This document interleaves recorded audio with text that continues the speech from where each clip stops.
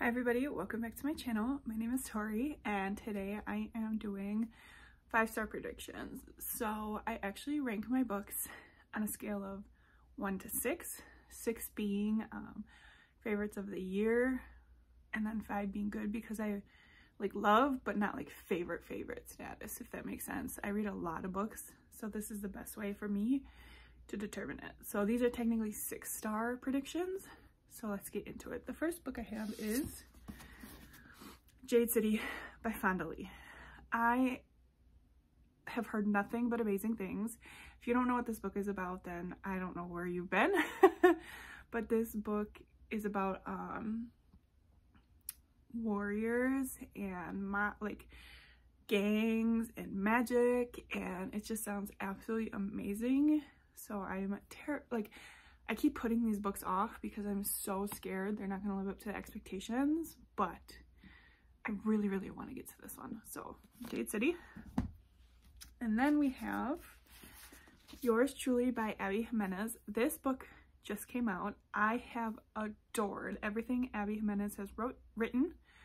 Part of Your World made my favorites last year, so I'm hoping this one does too. This is um like a spin-off from that one. It's like her friend. Letters.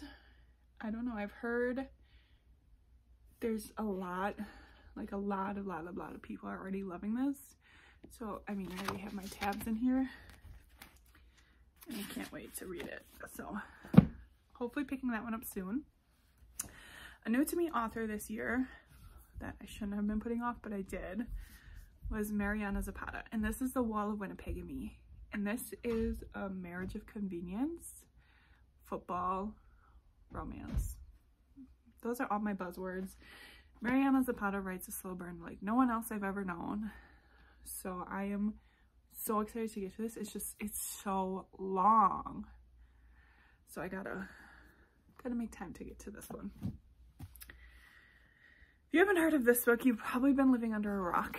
The Serpent and the Wings of Night by Carissa Broadbent. Fantasy romance. I just, I love it so much. And this is Human or Vampire, the rules of survival are the same. Never trust, never yield, and always, always guard your heart. I've heard nothing but amazing things about this book.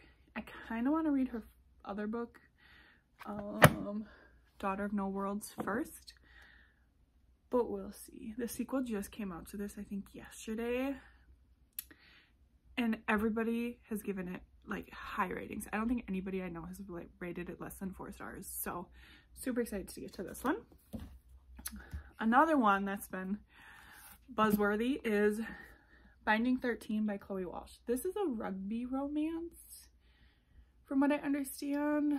Friends to lovers, abuse, lots of trigger warnings.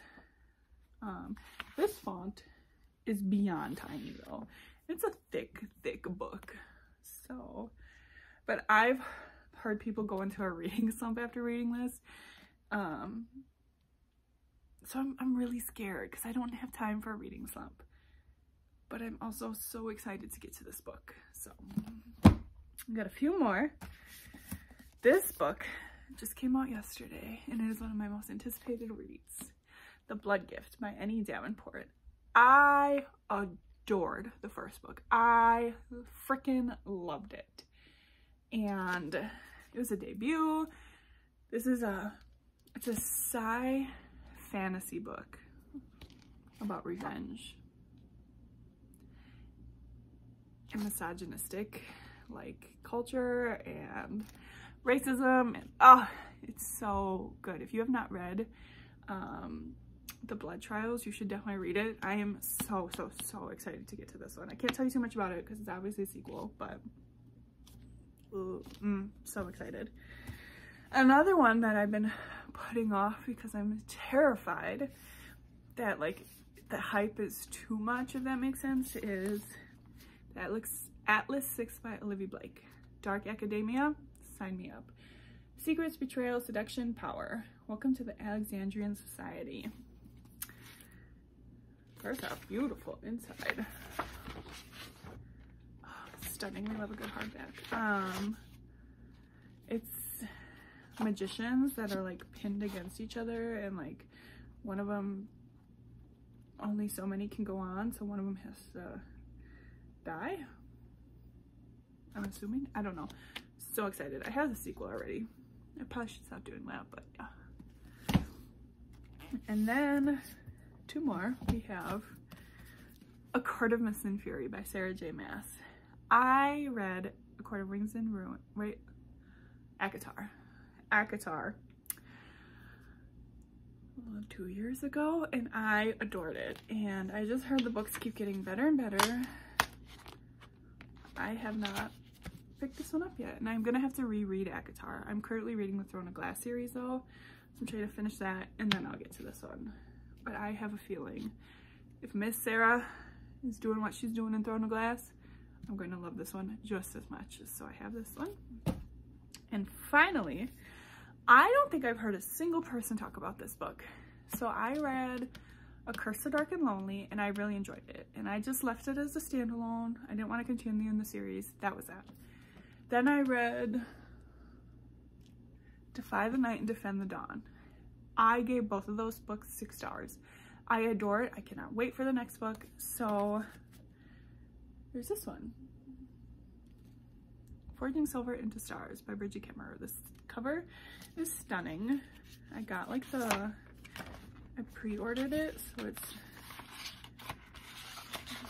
it be signed, I think.